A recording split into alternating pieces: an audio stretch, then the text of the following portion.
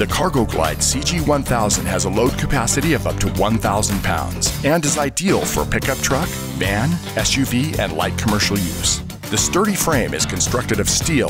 The deck is constructed of real plywood with a TPO rubber laminated surface for strength and durability.